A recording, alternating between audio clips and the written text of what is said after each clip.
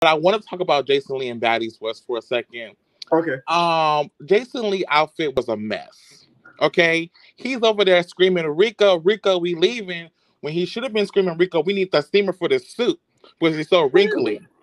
Did you see how Armon Wiggins went in on him about his wrinkly suit and his shoes? I did see. I did.